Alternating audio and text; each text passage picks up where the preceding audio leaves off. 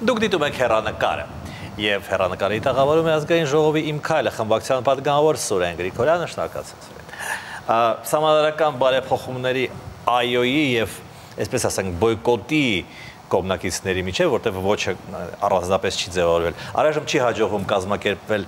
կազմակերպել բանավեճ եւ ես պարզապես ստիպված եմ իրար փոխանցել հակառակ կողմի փաստարկները, կրկին շեշտելով, որ դրանք իմ փաստարկները չեմ։ Եվ այսպես, Սամադրական հանրակրվեի քարոշչությունը пассив է անցնում, ասում են ձեր ընդդիմոխացները։ Ամեն անգամ չեմ ասել, որ ասում են ձեր ընդդիմախոսները, որովհետև այս հարցը քաղաքացիներին չի հետաքրքրում։ Պարոն Աբրահամյան, նախ շեշտենք, որ ինքնին տարօրինակ է, որ իր թեզերում համոզված որևիցե անց խուսափում է բանավեճից եւ ստիպված է ապավինել այսպես փոխանցման միջոցով իրենց հակափաստակներին անդրադառնալը իրականում ես անգամ չէի ցանկանա, որպեսզի ավելի ակնառու լիներ, որ անձինք անգամ խուսափում են դեմ արդեմ իրար երեսին նայելով ուրեմն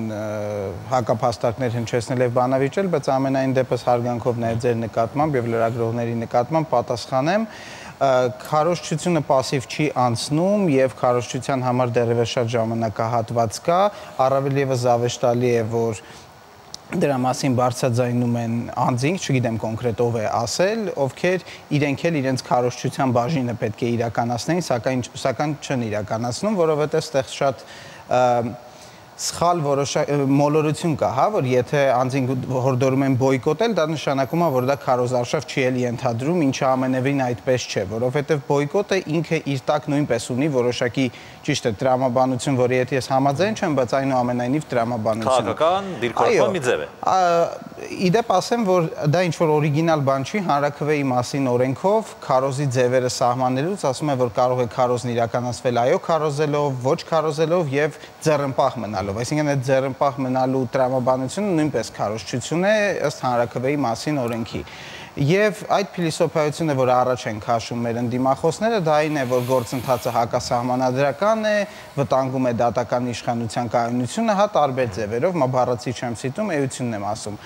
Այդ դեպքում հարց է առաջանում։ Եթե դուք ունեք այդ համոզմունքը, լավ, բանավեճերի չեք մասնակցում, անտրամաբանական է, դնենք մի կողմ Ինչու չեք անում քարոշչություն, ինչու մարդկանց հետ չեք հանդիպում, ժողովրդին չեք բացատրում, որ ձեր տեսակետը ճիշտ է, որpիսի մարդիկ ձեր տեսակետը կիսեն եւ չմասնակցեն հանրակրվեին կամ ոչ ասեն։ Ի վերջո, ես ամփոփելով հարցս, ինձ համար շատ զավեշտալի է, որ ինքը քարոշչության որոշակի պարտականություն ունեցող որ, որևիցե անց ինքը գործողություն չկատարելով մտավախություն ունի, թե այոն ինչու է пассив քարոզում, իսեր Աստծո մենք ինքներս կորոշենք եւ կգնահատենք մեր քարոզը ինչպես իրականացնենք, կոնկրետ այդ անձանցից խորհրդի կարիք չունենք անցնենք առաջ, հա։ Հանրակրվեում դրված հարցը կեղծորակարգ է եւ մեր պետությունը շատ ավելի կարեւոր խնդիրներ ունի։ Ոչ համաձայն չեմ, որովհետեւ կեղծորակարգ չէ, որովհետեւ խոսքը գնում է համանդրական դատարանը 2015 թվականի փոփոխություններին համապատասխանեցնելու գործընթացի մասին, որին իդեպ այդ փոփոխություններին հավանություն է տվել նաև Վենետիկի հանձնաժողովը, որին կարծիքի ուղարկելու հորդորներ են անում հաճախ նաև մեր ընդդիմախոսները, եւ ընդհանրապես այդ կյանքը, այդ մոդելը կյանքի կոչելու մասին է, կեղծ օրակարգ չէ, եւ չգիտեմ թե ինչպես կարող են իրավաբանները առավել եւս համանդրական դատարանի ճգնաժամի արկայության դեպքում տեսնել ինչ որ ավելի կարևոր խնդիր, ել չեմ ասում, որ հաճախ այդ տրամաբանությունն է օգտագործվում, որ ինչու ենք այս սրանից սկսում, ինչ խնդրի իշխանությունը անդրադառնում, ասում են բայս խնդիրը, բայս խնդիրը, բայս խնդիրը։ Բնականաբար մենք փորձում ենք առավել շատ խնդիրների միաժամանակ անդրադառնալ, սակայն բոլոր խնդիրներին միանգամից անդրադառնալ հնարավոր չէ։ Ասեմ ավելին, որ քննադատություն էր նաև հնչում օրինակ Լուսավոր Հայաստանի մեր գործընկերներից, որ ինչու եք սևեռվել համանդրական դատարանի վրա, երբ որ մենք ունենք խնդիր ամբողջ դատաիրավական համակարգում, ես ասեմ, որ նախորդին ուրեմն 3 պետաիրավական հարցերի հանձնաժողովում քննարկվեց դատական օրենսգրքի փոփոխությունների այսպես կոչված վեթինգի նախագիծ անունը ստացած որոշ շրջանակների կողմից նախագիծը, որը ստացավ դրական եզրակացություն եւ քննարկվելու է առաջիկա լիագումար նիստում։ Այսինքն նման երևույթ, որ մենք սևեռվել ենք անգամ դատաիրավական բարեփոխումների դեպքում միայն համանդրական դատարանի վրա չկա։ ՍԴ դատավորները հրաժարվել են վաղաժամկետ թոշակի անցնել, ինչը խոսում է նրանց սկզբունքայնության մասին ես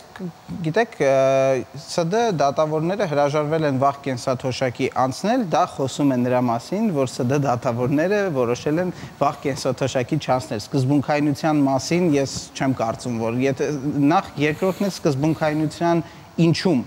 սկզբունքայնության մասին ենք խոսում ոչ մի կերպ չընդունելու իրողություններ, որոնք արդեն երկար ժամանակ տեղի են ունեցել եւ ծավալվում են Հայաստանում, ինչում սկզբունքայնության։ Եթե խոսքը գնում է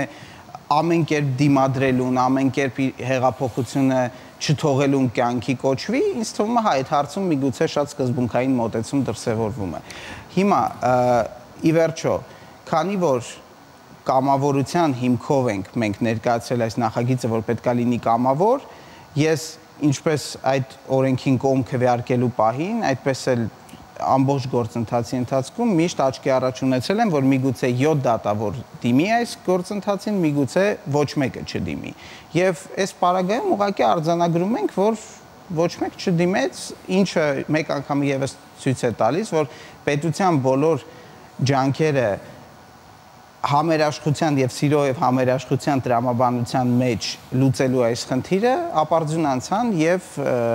ստիպված ենք սпасել որպիսի ժողովուրդը որոշի այս հարցը նույնպես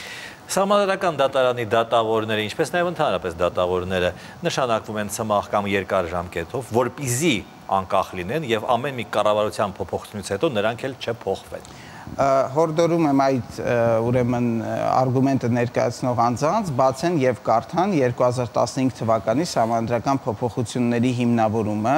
որում հատկապես նշված է, որ եթե սովորական, այսինքն ենթադրաբար առաջին ատյանի, միգուցե վերաքննիչ դատարանի դեպքում դատավորների ցմահ կամ շատ մեծ ժամկետով պաշտոնավարումը կարող է արդարացված լինել, ապա բարձրագույն ատյանների դեպքում առավել նվազ ժամկետը դիտարկվում է որպես մրցակցությունը խթանող, որpիսի մարդիկ տեսնեն իրենց կարիերային աճի հնարավորություն, որpիսի մի օր դառնան համանդրական դատանի դատավոր, միևնույն ժամանակ սահմանվել է այնպիսի ժամկետ, 12 տարվա ժամկետ, որի դեպքում նույնպես դատավորը անգամ ընտրվելով մի իշխանության կողմից շատ մեծ է հավանականությունը, որ այդ իշխանության պաշտոնավարման դադարելուց հետո, այսպես ասենք, ինքը դեռևս մնալու է դատավոր։ Ասեմ ավելին, որ նորմալ իրավիճակում դատավորների տարբեր ժամանակահատվածում նշանակումները ենթադրում են, որ տարբեր նույն դատավորը տարբեր իշխանությունների ժամանակահատվածում պաշտոնավորելու է, որի մասով մենք ցավոք այս պայն ունենք որոշակի բարդություն, որ հիմա 7 դատավորների հեռանալու դեպքում կարող ռիսկ ունենք, որ 12 տարի հետո համալրման միաժամանակյա խնդիր կլինի, բայց մենք այդ մասով նույնպես մտորումներ ունենք եւ կարծում եմ այդ մասով նույնպես լուծում կտանք։ Եթե այոն անցնի, դա հարված կլինի դատական համակարգին, որովհետեւ ամեն մի դատավոր կմտածի, որ եթե իշխանության հետ լեզու չի գտնի, նրան այս կամ այն ձևով կհանեն աշխատանքից։ Ես չեմ ընդունում այն թեզը, որը ի սկզբանե դրված է այդ ասվածի հիմքում, որ համանդրական դատարանի շուրջ գործընթացները պայմանավորված են իշխանության հետ լեզու գտնել չգտնելով եւ մենք որևիցե անկախ մարմին, որը ձևավորել են կամ պատրաստվում ենք ձևավորել, չենք ղեկավարվել եւ չենք ղեկավարվելու այն տրամաբանությամբ, որ մեր հետ կարողանան լեզու գտնել։ Հայաստանի Հանրապետության վարչապետը եւ ըստ էության մեր քաղաքական թիմի առաջնորդը կարելի է ասել, շատ հստակ ձևակերպել է, թե մենք ինչ խնդիր ունենք ոչ միայն համանդրական դատարանի հետ, այլ դատարան ֆենոմենի հետ առհասարակ։ Մեզ պետք չի դատարան, որը կկայացնի լուծում որոշումներ, որոնք հաճելի են մեզ։ Մեզ պետք է դատարան, որի որոշման մեջ ոչ մենք, ոչ մեր հանրության ներկայացուցիչները չեն ունենա կասկած, որի դեպքում մենք որպես падգամավորներ, կառավարության ներկայացուցիչները որպես կառավարության ներկայացուցիչ ստիպված չեն լինի մարդկանց parzabanել իրենց վճիրները, փնտրել արդար է եղել թե արդար չեղել, այլ ուղակի կասեն մեր դատարանը այդպես է որոշել, ուրեմն այդպես պետք է լինի եւ այդ գործառույթների հստակ բաժանումը տեղի կունենա։ Մինչդեռ այսօր դատարանների որոշումների լավ կամ վատ, ճիշտ կամ սխալ այս կամ այն կողմը, որ կողմն էլ որ բողոքում է, եթե նկատեք, բողոքում է ոչ թե դատարանից, այլ բողոքում է իշխանությունից, այսինքն եթե կայացվում է որոշում, որը հանրության մի մասին չի գոհացնում, ասում են, բա հեղափոխություն է, ինչու իր արդյունքին չի հասնում, ի վերջո էլի այն մարդիկ, ովքեր կոնկրետ անձանց կարծիքով պետք է լինեն ազատազրկման մեջ, ազատազրկման մեջ չեն, մենք ենք մեղավոր, ազատազրկման մեջ է գտնվում կոնկրետ անձ, իր համակիրները կամ կոնկրետ անձիկ ասում են էլի քաղաքական հրահանգավորում է։ Այս երկու դրսևորումների մեջ մի ընդհանուր բան կա ոչ մեկ պատասխանատվությունը դատարանների որոշման համար չի դնում բուն դատարանների վրա, դնում է իշխանության վրա թե այս կողմից, թե այն կողմից։ Եվ մեզ պետք է ի վերջո դատարան, որը իր առաքելությունը կատարի ու ինչ որ իմաստով ինքը պատասխանատու կլինի իր որոշումների համար։ Ինչ վերաբերում է համանդրական դատարան, պարոն Աբրամյան, այստեղ կա առանձնահատկություն։ Այո, համանդրական դատարանները եւ համանդրական դատարանների լիազորությունները, որ մենք նայում ենք, դա այն մարմինն է, որը օրվա քաղաքական իշխանությանը, այսինքն օրինակ այսօր մեզ պետք է որոշ հարցերում հակադրվի, որոշ հարցերում ասի, որ մենք սխալ ենք եւ գիտեք քաղաքականությունը քաղաքականություն, բայց եկեք մի հարցի պատասխանենք կարող է ինչ որ մեկը այսօրվա իշխանությունից պահանջել, որ ինքը 100% վստահ լինի, որ համանդրական դատարանի այս կամ այն, այսպես ասած, ստոպը իշխանության պայմանավորված է նրանով, որ օրենքի գերակայությունով, օրենքի տարով, այլ ոչ այլ շահերով։ Կարծում եմ բոլորը հասկանում են, որ այս հարցի պատասխանը ոչ է եւ նորմալ է, որ մենք ունենք կասկած որոշ որոշումների անաչառության եւ այլի վերաբերյալ։ Պետական պաշտոնյաներին հանրակրվեով չեն հանում։ Կա կարգ որով նրանց ազատում են աշխատանքից։ Այո, սովորական վիճակներում եւ ես նորից զարմանում եմ, թե ինչպես են մարդիկ համառորեն փորձում վկայակոչել, որ կա ստանդարտ գործիքակազմ ոչ ստանդարտ իրավիճակներում։ Ժորժ ջան, ոչ ստանդարտ իրավիճակ մենք ունենք, չի ենթադրվում, որ նորմալ իրավիճակում մենք սենց խնդիր ենք ունենալու համանդրական դատարանի կամ որևէ դատարանի կամ որևէ այլ պետական մարմնի հետ։ Հետևաբար, շատ խելացի կարծում եմ պետք չի լինել, որpիսի հասկանալ, որ նորմալ է, որ ոչ ստանդարտ իրավիճակներում ստանդարտ իրավիճակների համար գրված եւ սահմանված կանոնները կարող են որոշ դեպքում չաշխատել, բայց ելի ի վերջո այդ ոչ ստանդարտ իրավիճակը մենք ելնելով մեր հետագծից քաղաքական եւ արժեքաբանությունից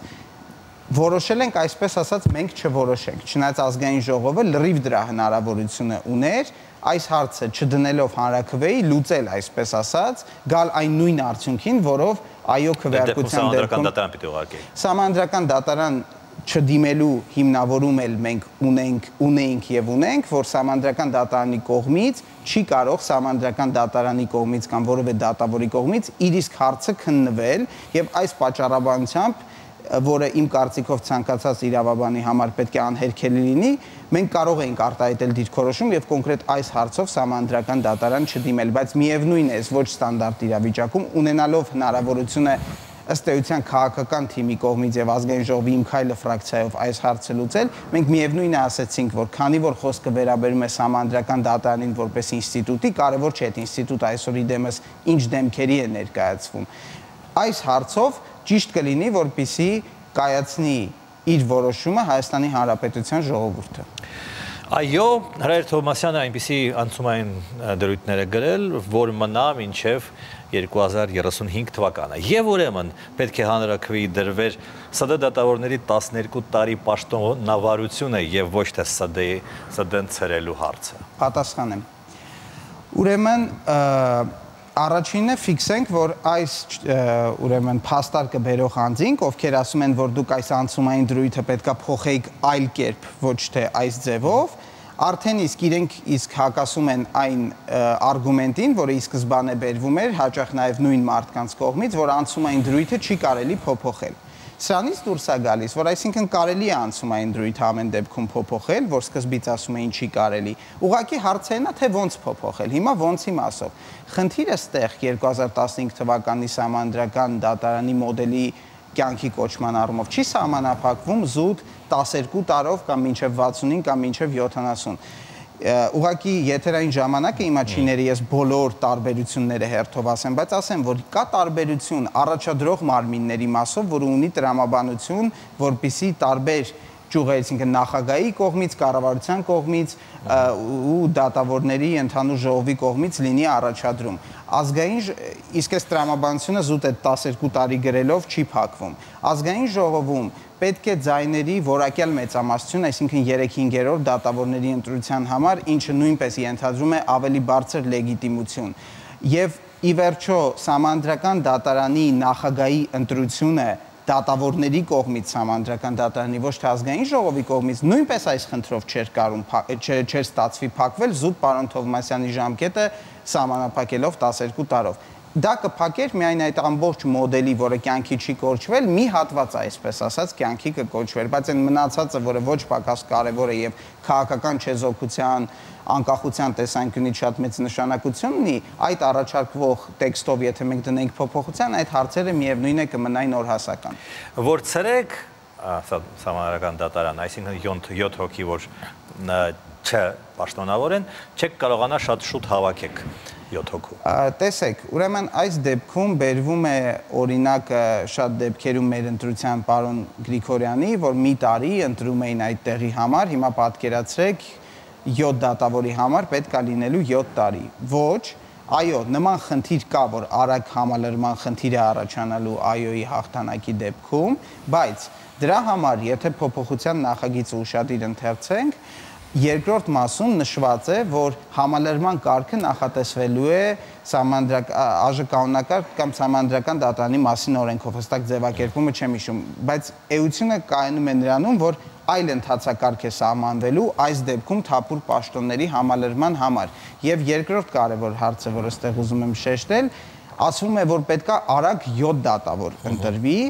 Այդպես չէ, երկու դատավոր կմնան համանդրական դատարանում հանրակրվեի արդյունքներով ամեն դեպքում, եթե այոյի հաղթանակի դեպքում պարոն Վայե Գրիգորյանը եւ պարոն Արման Դիլանյանը, որոնց պետք է այսպես ասած գումարվի, այսինքն ընտրվեն եւս 3 դատավորներ, որpիսի համանդրական դատարանը ունենա այսօրվա օրենսդրությամբ նախատեսված քվորումը գործելու համար, այսինքն հրատապ ընտրության խնդիր, այսպես ասած, մենք ունենալու ենք 3 դատավորների մասով եւ ոչ 7 դատավորների մասով եւ գործելու ենք այստեղ ոչ ստանդարտ ընթացակարգով, այլ ավելի արագացված ընթացակարգով։ Ես մի քանի փաստարկ չեմ կարողանա հասցնեմ, բայց եւս երկուսը։ Դուք մեծամասնությունը մերժել եք նախագահի առաջադրած մասնագետ տեխնացուներին, որպիսի անցկացնեք ձեր մարդուն Վահե Գրիգորյանին այդպես չէ նորից համանդրական դատարանի տեխնացուներին տեխնացուները ներկայացրել են ազգային ժողովում, նրանց տրվել են հարցեր եւ կոնկրետ ամեն падգամավոր իհարկե իր քվեարկության մասով պետք է պատասխանի։ Ես իմ քվեարկության մասով կարող եմ ասել, որ ոչ պարոն Գոր Հովանիսյանին եւ ոչ պարոն Արթուր Վաղարշյանին, եթե ճիշտ եմ հիշում անունը, ես չեմ քվեարկել կողմ, այսինքն դա պայմանավորված չի եղել Վահե Գրիգորյանի տեխնացությունը, տեխնացությանը սпасելով եւ ես վստահ եմ, որ իմ այլ գործընկերներ նույնպես այդ պատճառաբանությամբ չեն քվեարկել։ Եվ վերջապես, արդեն Վահե Գրիգորյանի գործունեությունը այս ժամանակահատվածում ցանկացած քննադատություն հնչեցրեք բայց մի հնչեցրեք են քննադատությունը, որ Վահե Գրիգորյանը անկախ չէ այսօրվա քաղաքական թիմից, որովհետև պարոն Գրիգորյանի որոշ հայտարարություններ, որոնց հետ ակնհայտ. Ես օրինակ անհամաձայնություն եմ հայտնել մասնագիտական։ Ինքն էլ է իրավաբան, ես էլ եմ իրավաբան։ Իրավական հարցի շուրջ անհամաձայնություն կա։ Այլ օրինակ բերեմ, ինչի համար են այսօր պարոն Գրիգորյանին ամենաշատը քննադատում ըստ իս անհիմն, բայց ամենաշատը չի գնում աշխատանքի, չի մասնակցում նիստերին, ճիշտ է։ Ում են քննադատում իմ քայլը խմբակցությանը, ով ընտրել է Վահե Գրիգորյանին։ Հիմա եթե Վահե Գրիգորյանը այդ արատավոր քաղաքական կապի մեջ լինի եւ այսպես ասած քաղաքական թիմը ինչ ասի նա պետք է անի, ո՞նց է կարծում քաղաքական թիմը որpիսի այդքան քննադատության թիրախ չդառնա, չէր կարող պարոն Գրիգորյանին խնդրել այդ նիստերին մասնակցել։ Ոչ, պարոն Գրիգորյանի սկզբունքային դիրքորոշումն է, որը ինքը բազմիցս շատ մանրամասն շատ ծավալուն բացատրել է, ինչու ինքը չի մասնակցում, եւ ես վստահ եմ, որ ոչ մեկ իրեն հակառակում այսօր համոզել չի կարող։ Ոստի անգամ այդ դեպքում ակնհայտ է, որ անձը, ով գործող մեծ ազգային ժողովում մեծամասնություն կազմող ֆրակցիայի կողմից ընտրվել է որպես համանդրական դատարանի դատավոր, չի կարող դիտվել որպես կախյալ այդ նույն քաղաքական թիմից։ Լավ, վերջինը ասեմ, մնացածը պահեմ ձեր գործընկերների իմ քայլի։ Շատ բարի։ Սուրեն Պապիկյանը, այսինքն նախարարը նշանակվել է ԱՅՈ-ի շտաբի պետ, որպիսի մարզպետների եւ գյուղապետերի նկատմամբ վարչական ռեսուրս կիրառվի։ Պարոն Աբրահամյան, մի հատ հարց տամ, որը կարող է տենց շատ կոռեկտ չհնչի քաղաքական տեսանկյունից։ Այսինքն, եթե լիներ միտում, որպիսի մարզպետների եւ ձեր նշած անձանց նկատմամբ ճնշում գործադրվի։ Պարոն Պապիկյանը, որ չնշանակվեր, հնարավոր չէր հայ ճնշումը գործադրել։ Նախկինում